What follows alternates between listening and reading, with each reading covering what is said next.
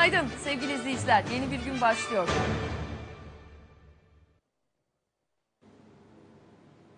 Saadet Partisi'nin Genel Başkanı Sayın Kamal'ı ağırlıyoruz. Mustafa Kamal bizlerle birlikte. Efendim şimdi Türkiye'yi sizin gözünüzden göreceğiz. Ee, sıcak gelişmelerden başlayalım. Dışarıda bir şeyler oluyor. Ee, son haber ben de okudum biraz önce. Ee, Times'ın iddiasına göre e, biliyorsunuz Suriye'de artık Rusya'nın etkinliği ki Esad e, Moskova'ya gitti. E, ve ardından bir kara harekatı var e, Halep'e yönelik olarak. Ve İngiliz gazetesi de diyor ki ABD'nin Irak ordusu ile birlikte düzenlediği operasyonla IŞİD'in elinde idam edilmek üzere olan 69 rehine kurtarıldı. İlk kez IŞİD'e yönelik mücadelede Amerikan askerlerinin ölmesini Times değerlendirmiş. Çünkü bu operasyonda bir Amerikan askeri ölmüş. Ve bu Times'a göre ABD'nin Irak'ta Putin'i durdurmak için harekete geçtiği şeklinde yorumlanmış. Şimdi Irak'ta e, Musul'da örneğin IŞİD ağırlığı var. Suriye'de PYD IŞİD çatışıyor e, IŞİD'e yönelik koalisyonun e, operasyonu var. Bazı ülkelerin operasyonları var.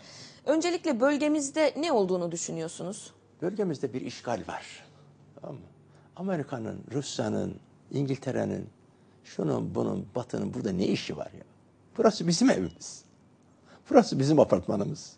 Bu apartmanın sahipleri nerede? Nerede? İşgal altında. Genelde de batı ile işte bu sömürgeci, küresel emperyalizmle beyin tabakası işbirliği içinde.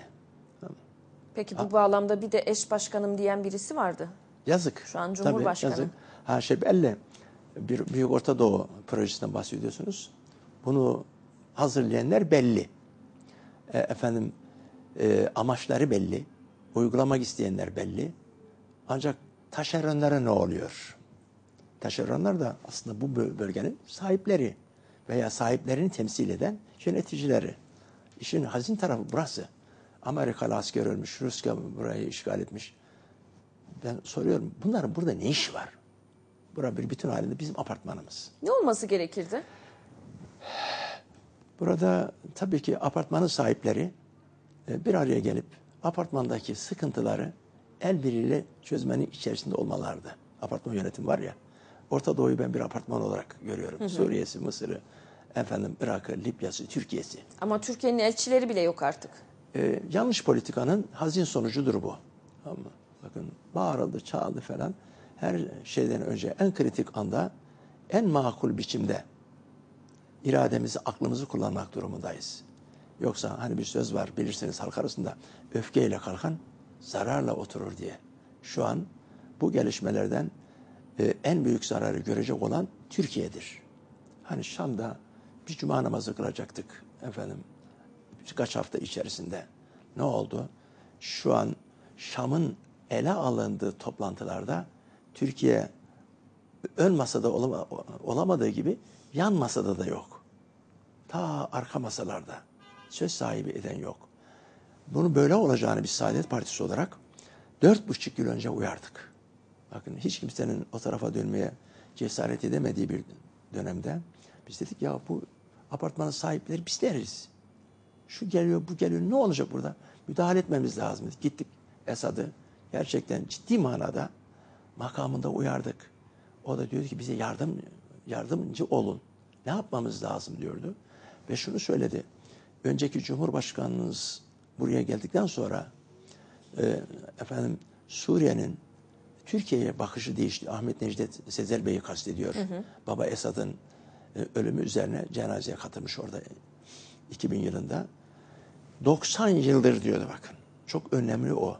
90 yıldır İngiliz oyunlarıyla bu iki halk yani Türk milleti ile Suriye halkı birbirlerini düşman gibi görmüşler. Altı çizilecek şey İngiliz oyunlarıyla, entrikalarıyla. İki halk birbirlerini düşman gibi görmüşler. Ama Sayın Cumhurbaşkanımızın Suriye'yi ziyaretiyle bu hava değişti. 10 küsür yıldan bu yana bu iki toplum birbirlerinin düşmanı değil, dostu hatta kardeşi olduğunu anladı. Bu süreç tersine çevrilmemeli diyordu. Çevrilmemeli. Türkiye bize rehberlik etmeli diyordu. Biz onu söyledik. Bak biz geldik. Biz geldik. Türkiye'nin asli yönlendiricisi, aklı selimini temsil eden bir partiyiz biz dedik. Milli görüş. Bu manada e, Ama şu- sizin düşüncenizle oluşmadı dış politika ve nihayetinde Esad gidecek gitmeli bir, Gidecek, birkaç ayda bakın. gidiyordu. Şimdi Esad'lı geçiş formülleri Bakın, konuşuluyor. Bu e, yazık ki yazık ki kör inat uğruna basiretsiz, vizyonsuz e, yönetim kadroları e, ülkeyi bu duruma getirdi. Orayı mahvetti. Şimdi Türkiye mahvolacak. Bundan endişe ediyorum. Biz şunu söyledik oradan. E, Esad'a şunu söyledik. Muhalefetten korkma. Muhalefet iktidarın aynasıdır. Bakın e, muhalefetin iki ayağı vardır. Bir siyasi ayak, iki medya ayağı. Siyasi ayak mutlaka mecliste temsil edilmelidir. İktidarı eleştirsin. Eğer eleştiri doğru ise, iktidarın hatalarını göz önüne seriyorsa, iktidar bundan ders alır kendini düzeltir. Eğer yalan yanlış bir şeyler söylüyorsa muhalefet, siz doğrusunu söyler, toplumu aydınlatırsınız. Evet, Korkmayın bundan. telkinlerde bulundunuz. Tabii, te- telkinlerde bulunduk ve bizden sonra da 2-3 gün sonra 5 bin civarında siyasi tutukluyu serbest bıraktım. Korkmayın bırakın dedikçe de. Türkiye'ye geldik. Efendim yine basın toplantısı yaptık. E, düşüncelerimizi, endişelerimizi kamuoyuyla paylaştık. İktidarı da uyardık. Dedik ki bakın Suriye'de sadece Suriyeliler değil fakat aynı zamanda orada 72 millet vardır. Orada İran vardır, orada Çin vardır, orada Rusya vardır. Siz e, efendim 15-20 gün sonra cuma namazı kılmayı düşünüyorsun ama 15 günde girer Türkiye oraya 15 yılda çıkamaz. Çıka, çıkarsa da kolu kanadı kırılmış olarak ülkesi bölünmüş olarak çıkar dedik.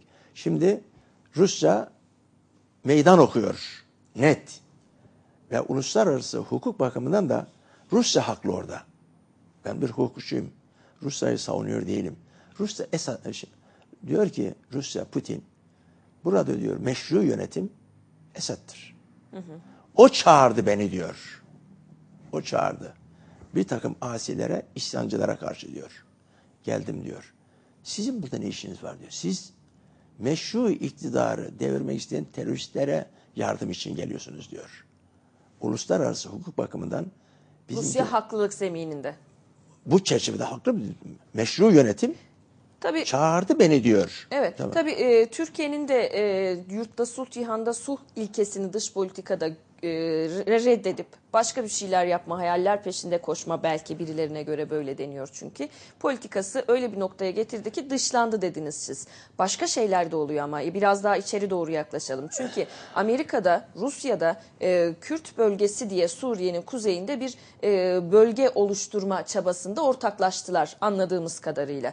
Ve bir yandan da Türkiye seçime giderken PKK terörünün yeniden canlandığını gördü. Siz Cizre'ye gittiniz gördünüz birebir yani orada ne yaşandığını. E, bizim de bir bölünme süreci yaşadığımız endişesi gündemde. Sizin böyle bir endişeniz var mı? Biz ne yaşıyoruz? Bakın e, sahipsiz ülkenin batması haktır. Sen sahip olursan bu vatan batmayacaktır. Bu dizeler İstiklal Marşı şairimize aittir. Ben orada halkımızla, kardeşlerimizle bir araya geldim. Şunu sordum. Siz e, İstanbul'daki, Ankara'daki, Konya ve misalen İzmir'deki kardeşlerinizi pasaportla, vize ile mi ziyaret etmek istiyorsunuz? Ayrı devlet olunduğu takdirde böyle olacak bu. Katiyen, katiyen dedi. Ama oradaki olaylar sadece Cizreli'nin yahut Şırnaklı'nın yahut Diyarbakırlıların iradesiyle cereyan eden olaylar değildir. Başka parmaklar mı var Hiç dışarıdan? şüphesiz tabii. Zaten e, perde gerisinde kimlerin olduğunu, maksatlarının ne olduğunu bilmezsek, görmezsek olayı tam teşhis edemeyiz. Problemi de doğru dürüst çözemeyiz. Şimdi bu olayların gerisinde adamlar zaten bas bas bağırıyor. Bakın Büyük Orta Doğu Projesi e, bundan sanıyorum 10 küsür yıl önce Cumhuriyet Gazetesi Türkiye'yi bölen haritayı kamuoyuna duyurmuştu. 10 küsür yıl oldu harita. Kamuoyuna duyuruldu. Ben o gazeteyi de saklıyordum. e, Cumhuriyet Gazetesi. Sizler de bulursunuz arşivde. Ne var orada? Türkiye bölünüyor. Kim bölüyor? Amerika. Bakın stratejik ortağımız Amerika'nın çizdiği harita.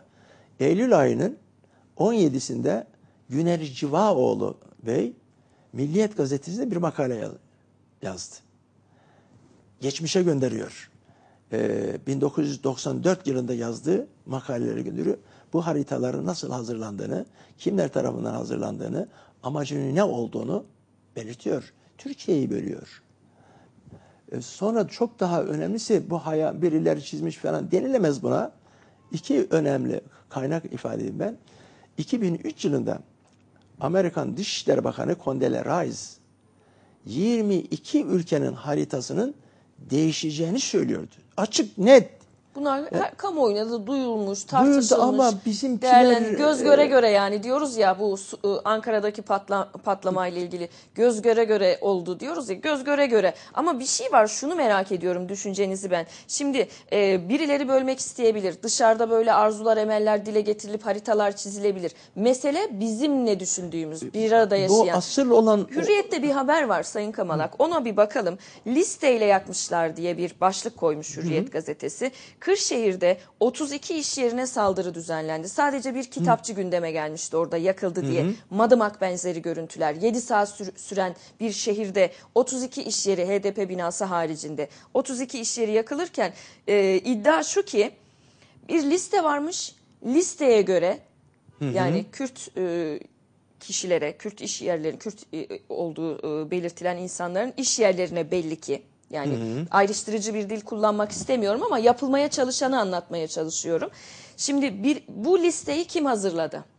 Bu listeyle buraları basanlar bizim vatandaşlarımız. Biz kendi elimizle bölünmüyor muyuz? Biz biz bu hale gelmedik mi? Ee, Ankara saldırısından sonra saygı duruşunda çıkıp da e, saygı duruşuna saygısızlık edilmesi bu ayrışmanın işareti değil mi? Biz ne yaşıyoruz sizce? aklımızı başımıza toplamamız lazım. Bakın aklımızı başımıza toplamamız lazım. Ee, barışçıl bir dil kullanmak lazım. Bunu özellikle yönetimde bulunan iktidar sorumlularının daha bir itina ile her bir kelimeyi seçe seçe kullanması lazım. Bakın şimdi iktidar sahipleri diyor ki muhalefeti eleştirirken siz Sivas'ın doğusuna bile gidemezsiniz diyor kahredici, utanç verici bir cümledir bu. İktidar, iktidarın en önde geleni, bir ve iki numaralı sorumluları söylüyor bunu.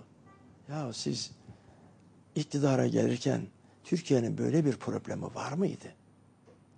Kendi kusurunuzdan dolayı ülke bu duruma gelmiş, şimdi bundan prim toplamaya çalışıyorsunuz. Hukukta bir kural var. Hiç kimse kendi hatasından, kendi hilesinden veya kendi ihmalinden dolayı hak iddia edemez. Tamam mı? Şimdi düşünün ülkenin belirli noktalarında seçim güvenliği yok. Sandıklar buradan taşınsın deniyor. Allah Allah. Kim diyor bunu? Mesela e, son sözü söyleyecek olan Yüksek Seçim Kurulu'na baktığımızda iktidar temsilcisi söylüyor orada. Burada diyor güvenlik yok, bir çatışma olur. Allah korusun diyor orada bazı insanlar hayatını kaybedecek olursa bunun sorumlusu kim olacak diyor. Sorumlu kim? Bu iktidarın bizzat kendisi. Ben böyle dediğim için de yoğun şekilde eleştiriyorum tabii. Şuraya geldim ya, yarın bakın tweetlere falan. Ben solcu oldum. Tamam mı? Ha, ulusal Bu te- televizyona çıktığınız için. Tabii buraya çıktığım için solcuyum. Ulusal kanala çıktığım için komünist. Bugün TV Yavuz Samanyolu'na çıktığım için Cemaatçi. paralelci ama devleti ele geçiren paralelci. Ee, şunu söylüyorum. Ya Kanal 7 milli görüş erlerinin alın teriyle kuruldu. Efendim güç, bin bir çeşit güçlükle topladıkları paralarla kuruldu. Paramız da çıkalım oraya diyor. Yok diyor. Nitekim 10 küsur yıldan bu yana Kanal 7 bizden bir kelimeyle bahsetmez. Paramız da çıkalım dedik seçimde. Olmaz. Bir tarafa çıkmadığımızda zaman da yoksunuz diyor. Saadet yok. Oy vermeyin oraya diyor. Çıkarsa bir takım Ama ithamlarla. ekranlar kapalı. E, hiç şüphesiz. Ama AKP'nin ilk icraatı zaten kendi medyasını oluşturmak, medya gruplarını ele geçirmek bakın oldu. bu e, kanaatimce iktidarın da lehine olan bir şey değil. Bana göre iktidara en büyük kötülüğü yapan o havuz medyasıdır. Çünkü hep yanlış yönlendiriyor. Sanki iktidardan gelen mesaj isimlendirmeyeyim ben vahiy gibi. Başbakan yahut bir bakan konuşmuyor sanki peygamber bir şeyler söylüyor. Öyle alıyorlar. Bunlar kabul edilemez bir durum. Şu an bunlardan çok daha tehlikelisi kanaatimiz o Türkiye adım adım bir savaşa doğru gidiyor. İşin şakası yok. Nitekim bak Rusça e, Suriye'de konuşlandı. Hava kuvvetleriyle konuşlandı. Efendim deniz kuvvetleriyle Akdeniz üzerinden konuşlandı. Ve uluslararası hukuk çerçevesinde de kendisinin haklı olduğunu düşündüğü için meydan okuyor. Bakın. Hazar Denizi'nden atmış olduğu bir füzeyle Suriye'deki IŞİD mevzilerine vuruyor. Mesafe basının yazdığına göre 1500 kilometre oradan oraya vuruyor. Diyor ki yani e, gelirsen görürsün. Ben buradayım diyor. Hı hı. Tamam mı? Ben buradayım. Bizimkiler bunu anladı şimdi. Bakın ne demek 1500 kilometre? Iğdır'dan Edirne'nin vurulması demektir. Tamam mı? Türkiye'nin en doğusundan en batısının vurulması demektir. Ciddi bir meydan okuma. Ciddi bir meydan okuma. Tamam mı? Şimdi bizimkiler şaşkın Türkiye NATO toprağıdır diyor. NATO'ya başvuruyor. NATO'yu toplantıya çağırdı falan. Geldi diyelim NATO. Geldi. Niçin gelecek buraya NATO? Bu apartmandaki kavgayı durdurmak için gelecek. Yani savaş diyelim tutuştular. Bir tarafta efendim Suriye, İran, Rusya, Çin, diğer tarafta Amerika, NATO, efendim Batı ülkeleri. İyi de savaş nerede olacak? Bu topraklarda. Bizim apartmanda. Bizim apartmanda olacak. Ve özü itibariyle bizim daire vurulacak. Bak, aklımızdan zorumuz mu var ya? Yani bu milletin gençlerini, insanları niye kırdıralım biz? Neden? Ha ben şunu söylüyorum. Ne yapıp edip barışa sarılmak zorundayız. İçeride barış, dışarıda barış. Bütün komşuların, apartman sakinlerinin benim gibi düşünme mecburiyeti yok. Ha, bu apartmanda Kürdü olacak, Türk olacak, Laz olacak, Çerkezi olacak, Alevisi olacak, Sünnisi olacak. Herkes benim gibi düşünecek diye bir mecburiyet yok. Eğer Ama bu sizin söylediğiniz şekilde bir politika yürütülmüyor. Şu anda da bir Oslo tartışması var biliyorsunuz. Belgesi tartışılıyor e, Kılıçdaroğlu'nun sözlerinden sonra. E, özellik e, sözü verilmiş diye. Ee, şimdi bu, bu özellik sözü kime veriliyor? PKK ile masaya oturulduğu için PKK'ya veriliyor. Ama 80 milletvekiliyle HDP çıkmış. Bazıları görmezden geliyor. PD, PKK, HDP eşittir birbirine diyor. Yani siyasi kanalı tıkayan çalışmalar yapılıyor. Şimdi eşit ya da değil. Siyaseti yok ettiğinizde şiddetten başka çare kalmaz. Şimdi e, Burada Hanım, düşüncenizi merak bakın, ediyorum. Şunu ifade edelim. Efendim IŞİD'di, PKK'ydı, PYD'ydi Bunlar küresel emperyalizmin öne çıkardıkları e, tabiri caizse e, figüranlardır. Asıl olan asıl olan perdenin gerisindekiler ne var orada? Küresel emperyalizm var, ırkçı siyonizm var. Türkiye'yi bölmek isteyenler var.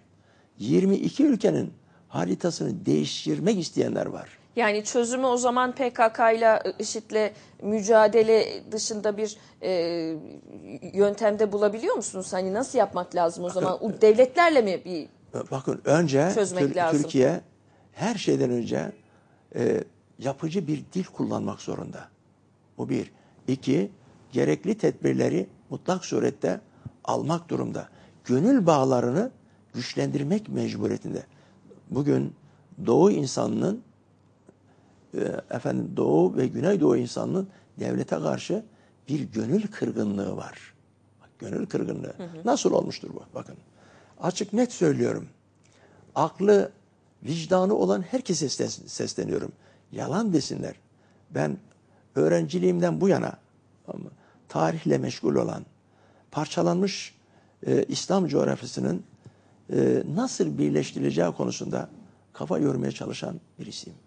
Demek ki öğrenciliğimden bu yana bakın bakıyoruz Doğu insanının aslında sadece Doğu'nun değil genel olarak bu ülkenin mütedeyyin insanların dinine müdahale edilmiştir. Dinine müdahale ediliyor. Bizim dört partimiz kapatıldı. Bu çerçevede kapatıldı.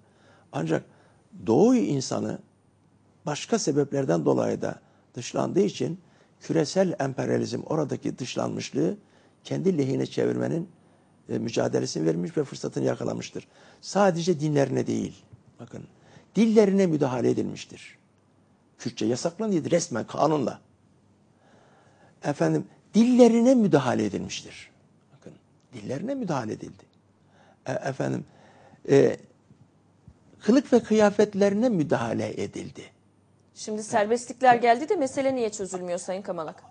İşte ben onu söylüyorum. Bütün isimlerine müdahale edildi. Bakın birçok yer ismi değiştirildi. Dört alanda önemli müdahale var. E sonra oralar başka bakımdan da cezalandırıldı.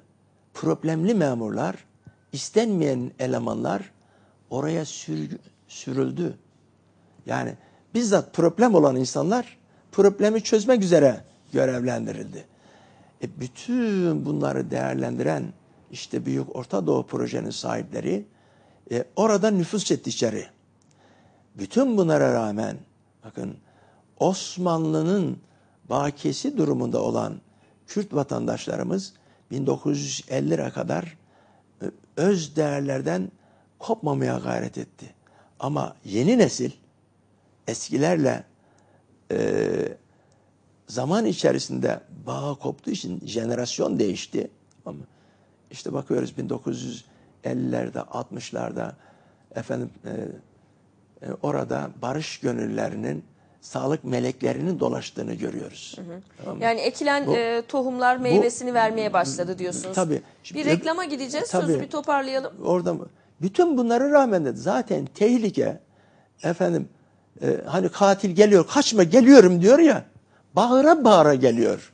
Bizimkiler küçük kırıntılar peşinde. Yani tükenen değerlerden e, bir şeyler kapma e, maddi anlamda. Bunun arzusunda. Adam geliyor ya Türkiye'yi böleceğim diyor. Daha ne desin?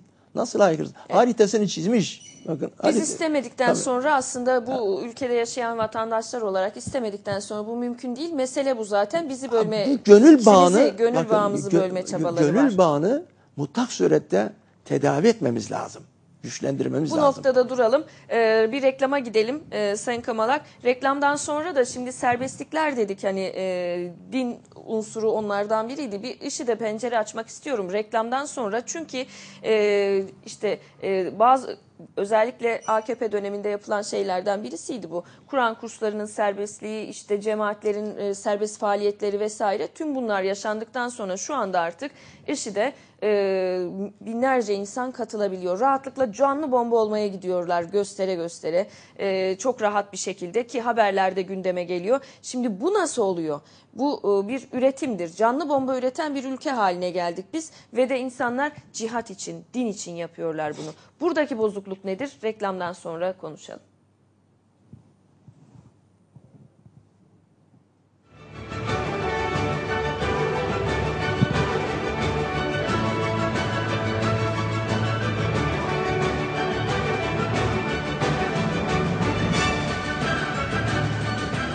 Günaydın sevgili izleyiciler. Yeni bir gün başlıyor.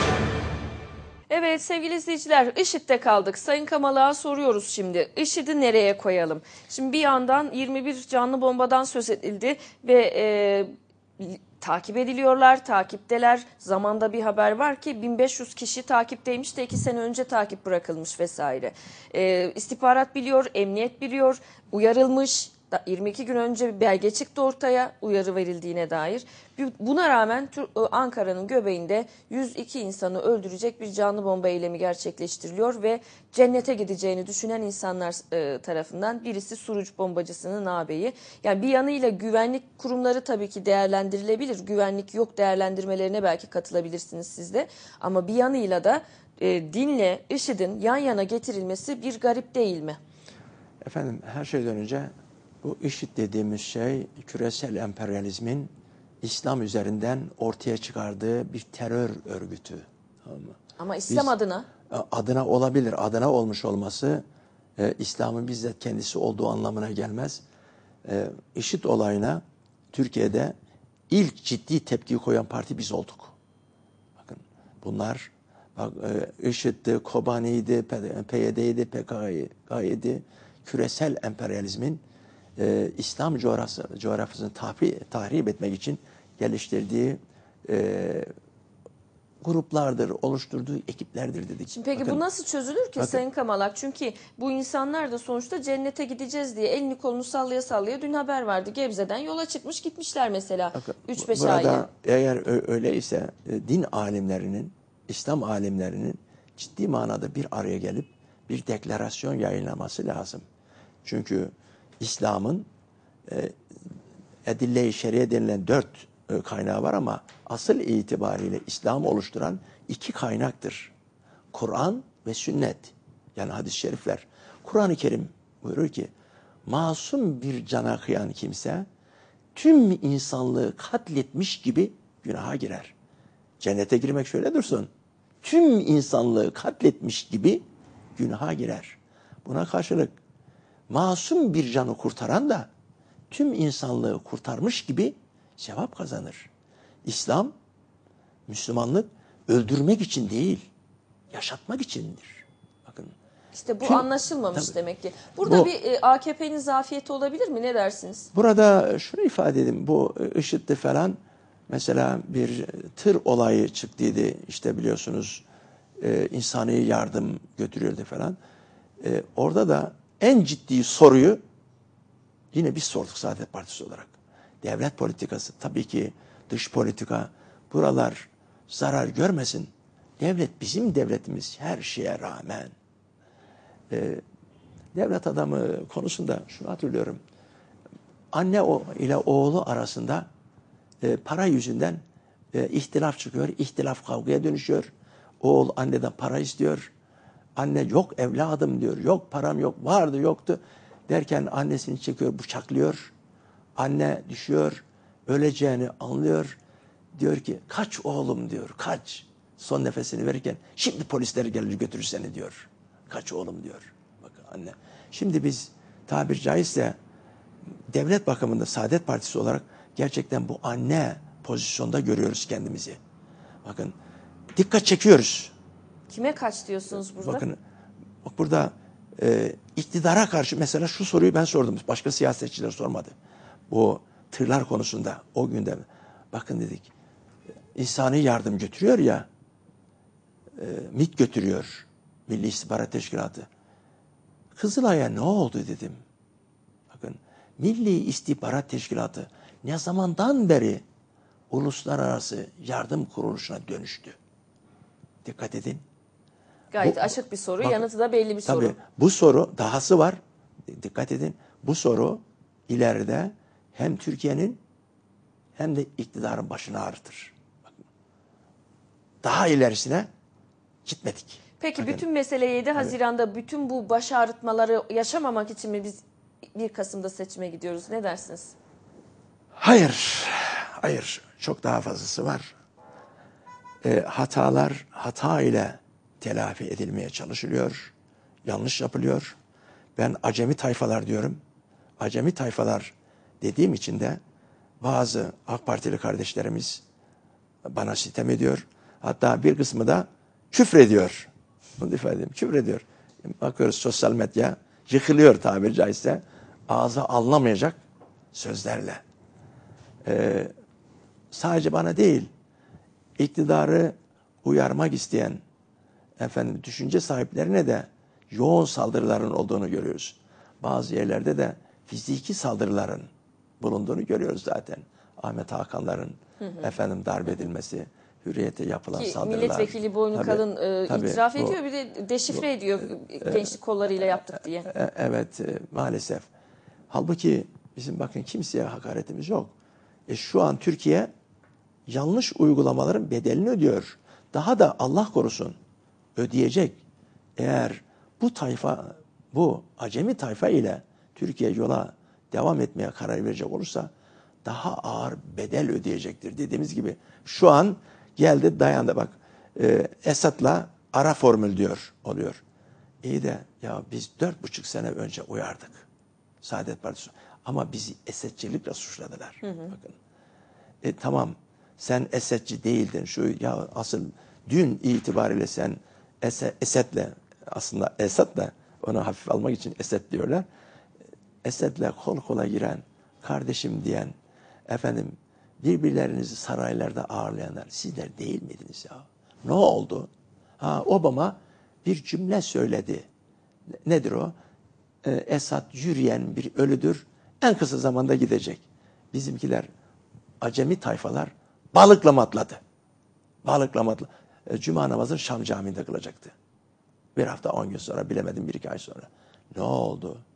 Aradan sene geçti. Beş Dört sene sene geçtikten sonra Saadet Partisi'nin dediği noktaya gelindi. Ama neden sonra Sayın Cumhurbaşkanımızın ifadesiyle iki üç gün önce konuşuyordu. Tam 366 bin Suriyeli öldürüldükten sonra. Aylan Bebek hatırımızdadır. Yüzlerce Suriyeli kardeşlerimizin cesetleri sahillerimize vurduktan sonra binlerce Suriyeli kardeşimizin e, efendim vücutları e, Akdeniz'in efendim Ege'nin e, bu soğuk sularında köpek balıklarına yem olduktan sonra yüzlerce yüzlerce kardeşimiz nihayet Türkiye'ye sığmayıp Avrupa kapılarına dayandıktan sonra Orada tekme yedikten tabii sonra değil mi? 8 milyon Suriyeli evinden barkından olduktan sonra bunun iki Haritaları milyonu değiştirmek isteyenlerin umrunda değil bu topraklardaki insanlara ne olduğu sonuçta. Burayı düşünecek olan da bizler olmalıyız galiba. Süremizin sonuna geliyoruz. Biraz toparlayarak isterseniz. şunu ifade edelim. Bakın bizler kardeşleriz. 78 milyon kardeşiz.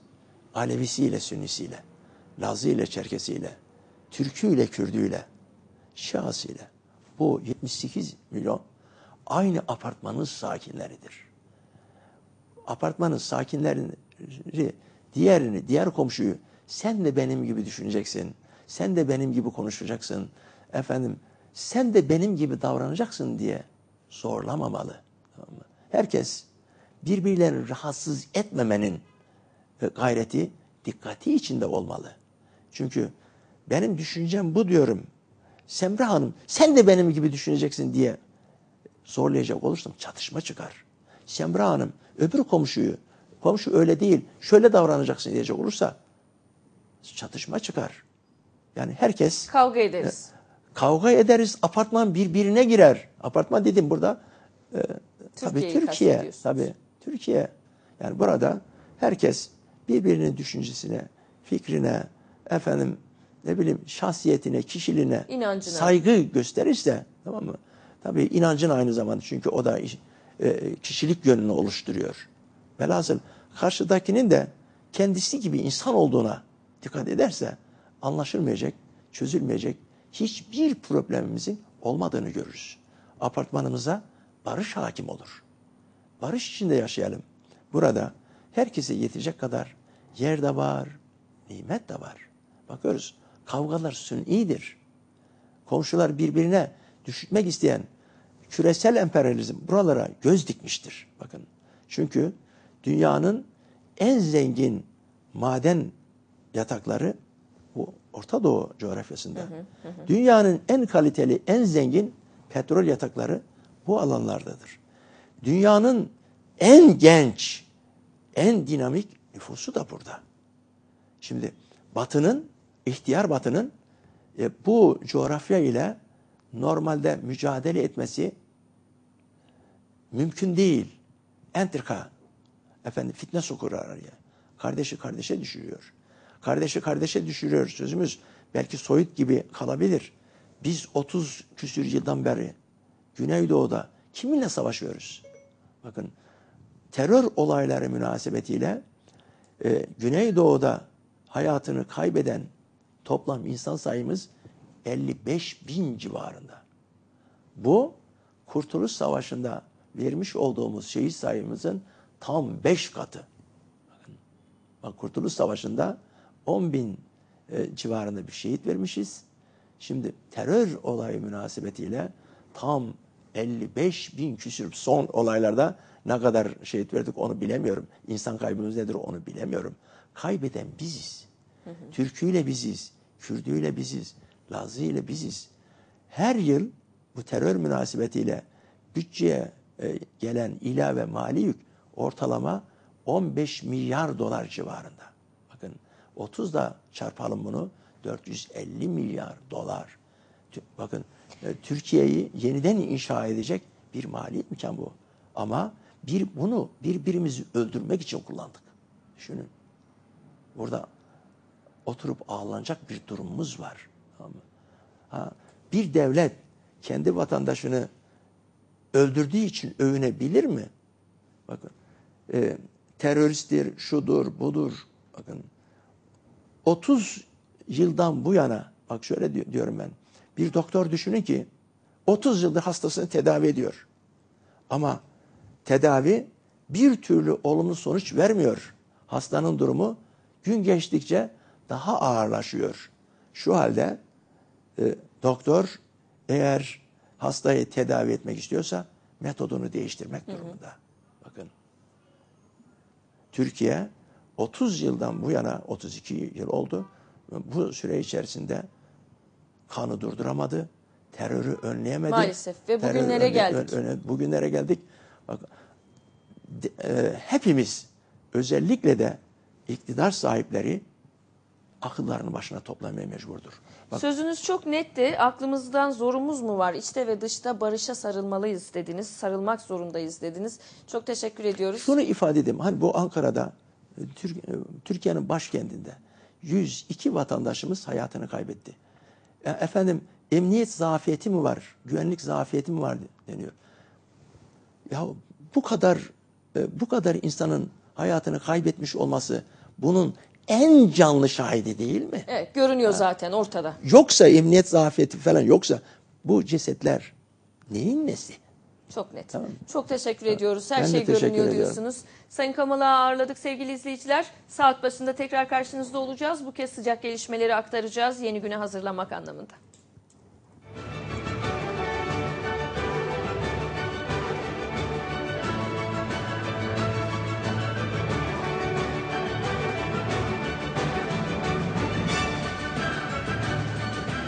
Günaydın sevgili izleyiciler. Yeni bir gün başlıyor.